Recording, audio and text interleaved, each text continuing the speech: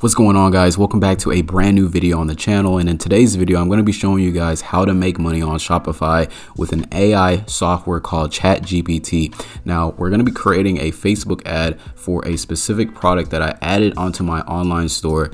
And right now it is the holiday season so this is the perfect time to be promoting Christmas products. And so I have this snowfall LED light set for about $29.95 and basically I've already built out the product page uh, which looks really nice. Again, um, you know, it has the main features, it has the GIFs, the images, the specifications, you know, what's included in the box, where I can sell these, um, you know, these Christmas lights, um, some reviews. So everything is good to go with this Shopify store and I basically want to create a Facebook ad with this AI software. Now this AI software is capable of doing so many different things for your businesses. So basically you can ask it questions or ideas um, that you want answered for your business and this is a really cool and fast way to get your business up and running um, especially if you're stuck and you're not sure you know where to go in your business. So in this example, you know, I'm not sure what kind of Facebook ad I should be creating for this product.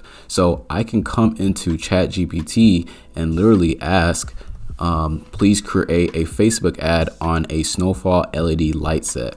So this is the exact product that I want to build a Facebook ad for this product. Basically, it's gonna print out an ad copy for an ad that I can use um, for this product. As you can see, it gives me the title, it gives me the body. Basically, this is the ad copy here, and it's gonna, you know, literally give me you know step by step on things that I can literally add onto my uh, you know Facebook ad and and it even gives you a recommendations for an image you know for example it says a photo of a snowball light set in action so I can use you know a, a video if I do have one or you know I can simply just use uh, this specific image or an eye-catching image you know that people would like to see. Let's check this out. So it also gives you a call to action. It gives you some audiences that we can target you know such as holiday decor home decor or you know just creating a festive atmosphere which makes sense for this product.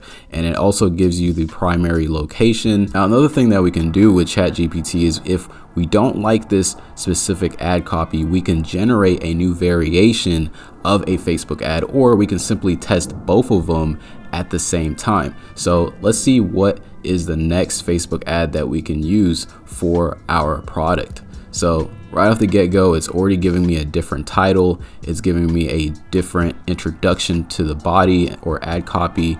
Um, let's see what other variations we can use for our Facebook ad. Okay, so the call to actions, okay, nice. We got shop now, get free shipping. And note, this is just a sample ad. You may want to customize it uh, to better fit your specific product and target audience. So it's just like a human literally telling me, hey, like, you know, you might want to change things around. Uh, you might want to change up the audiences or, you know, just change up the ad copy so that it fits the needs for my business.